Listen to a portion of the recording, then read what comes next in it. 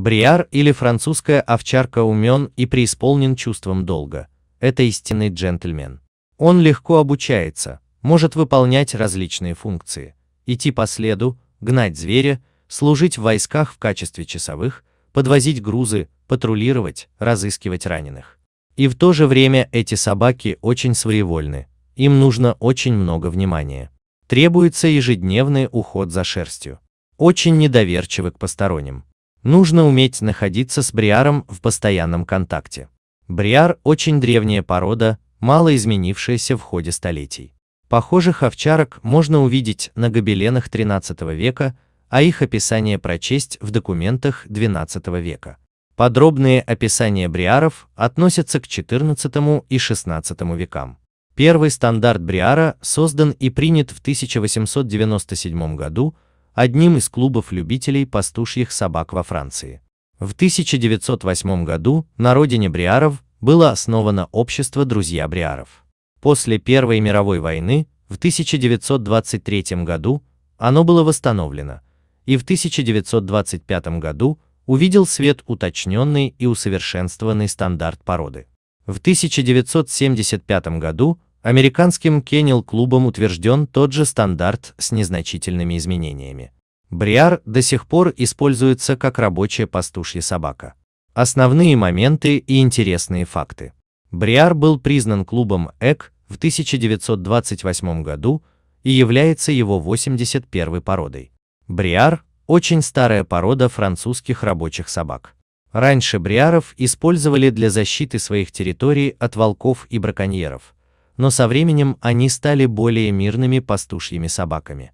В 1909 году было основано французское общество под названием «Друзья Бриара», которое в конечном итоге разработало точный стандарт в 1925 году.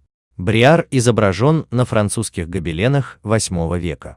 История приписывает как маркизу де Лафайету, так и Томасу Джефферсону привоз первых образцов Бриара в Америку. Томас Джефферсон заинтересовался Бриарами, когда был министром во Франции.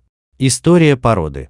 Свое наименование эта порода получила в честь области во Франции, прославившейся производством сыров бри в Шампане, хотя она и не имеет с ее развитием ничего общего.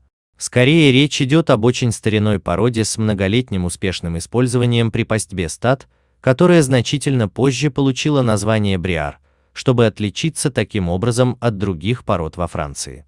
Первоначально они были выведены для стада и охраны стад овец, что отличает бриара от тех пород, которые только охраняют, и тех, которые только пасут стадо.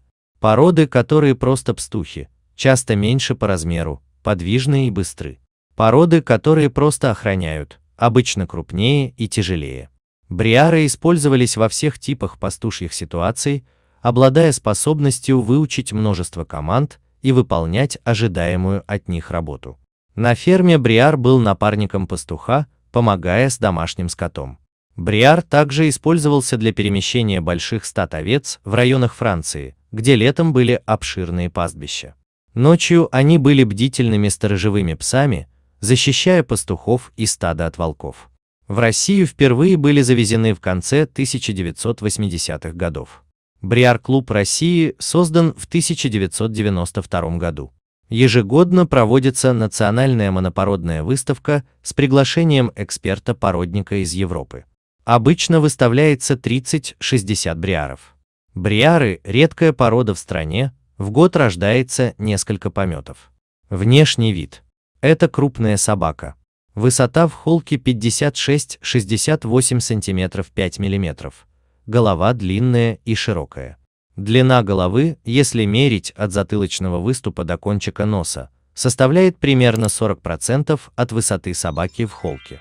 Губы черные, средней толщины, плотно прилегающие к челюстям. Голова густо покрыта шерстью, посередине естественно распадающейся на пробор но шерсть не должна полностью закрывать глаза. Глаза большие, широко расставленные, темные. Уши высоко поставленные, плотные, у основания твердые. Длина уха приблизительно равна половине головы. Разрешаются купированные и некупированные уши. Шея сильная, длинная, хорошо обмускуленная. Грудная клетка широкая и глубокая. Хвост длинный, сильно опушенный, на конце изгибается вверх, держится опушенным, достигает скакательного сустава, по форме напоминает букву J, никогда не поднимается выше линии спины. Шерсть жесткая, сухая, лежит плоско, не спадает длинными, слегка волнистыми, блестящими прядями. Подшерсток тонкий, хорошо развитый. Окрас любой сплошной, кроме белого. Отличительные черты характера. Они могут держаться в стороне от незнакомцев. Новые представления должны быть на условиях собаки, включая мебель или добавление нового ребенка в дом. Они требуют показать, что новое вторжение является дружественным и свободным от конфликтов. Они оказались очень хорошей породой для детей всех возрастов. Эти собаки очень эмоциональны, способны долго плакать после ухода хозяев и с большим энтузиазмом праздновать их возвращение. Поскольку темперамент Бриара подобен многим другим рабочим породам, он не подходит для владельцев, которым не хватает лидерских качеств или не имеют времени, энергии или приверженности выявить лучшее в новом щенке Бриара. Также важно познакомить их с несколькими людьми всех возрастов и в любых ситуациях. Социализация, начиная с очень раннего возраста, является обязательной. Бриаров нужно выгуливать как можно чаще, в самые разные места, чтобы они превратились в разносторонних животных. Бриаров разводили веками, чтобы пасти и защищать свои стада. Для домашних собак их семья – это стадо, и все посторонние могут показаться хищниками. У бриаров очень хорошая память. После того, как урок усвоен хороший или плохой, знания сохраняются надолго. Иногда они могут казаться решительными и упрямыми, но это лишь некоторые из характеристик Брайер. Их веками воспитывали, чтобы они думали сами и действовали на основании своих выводов, иногда до такой степени, что заранее обдумывали, что будет делать стадо. Даже если Бриар – городской житель, у него есть некоторая степень пастушеской способности. Если когда-либо в течение своей жизни его познакомят с овцами или крупным рогатым скотом, он автоматически начнет заниматься тем, для чего его разводили – пастить поголовье. Он даже будет пасти людей, кусая их лодыжки или руководя головой, чтобы вести их к своему хозяину. Содержание и уход. Бриар будет хорошо себя чувствовать на качественном корме для собак. Любая диета должна соответствовать возрасту собаки. Некоторые собаки склонны к полноте, поэтому следите за потреблением калорий и уровнем веса вашей собаки. Лакомства могут быть важным подспорьем в тренировках, но их слишком большое количество может вызвать ожирение. Проконсультируйтесь с ветеринаром, если у вас есть какие-либо опасения по поводу веса или здоровья вашей собаки. Чистая свежая вода должна всегда быть в миске. Начните ухаживать за щенком Бриара задолго до того, как ему действительно понадобится уход. Бриара следует расчесывать несколько раз в неделю полностью до кожи с помощью качественной щетки. Использование граблей для шерсти поможет удалить много мертвых волос и уменьшить их выпадение. Количество ванн, которые потребуются Бриару, полностью зависит от его образа жизни и выполняемой работы. Частота может варьироваться от еженедельной до ежемесячной и даже реже. Чтобы быть счастливым, Бриару нужна работа. Это порода, которая жаждет действий. Их жизнелюбие делает их отличными компаньонами для туристов, велосипедистов и бегунов. Им нужна большая, надежно огороженная территория, на которой они могут свободно бегать. Погони за теннисным мячом, брошенным его владельцем, может помочь Брайер отработать лишнюю энергию, а также дать ему человеческое общение, которое он любит. Здоровье.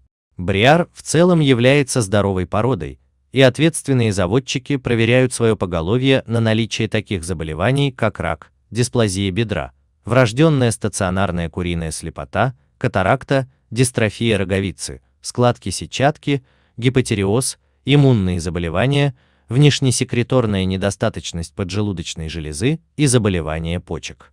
Обсудите любые вопросы или опасения со своим заводчиком и ветеринаром, чтобы вы могли принимать обоснованные решения относительно здоровья вашей собаки. Цена и как правильно купить. Мода на бриаров пока обходит нашу страну стороной, что и к лучшему – порода практически не пострадала от коммерческого разведения, а значит и шансы приобрести бракованного щенка сравнительно невелики.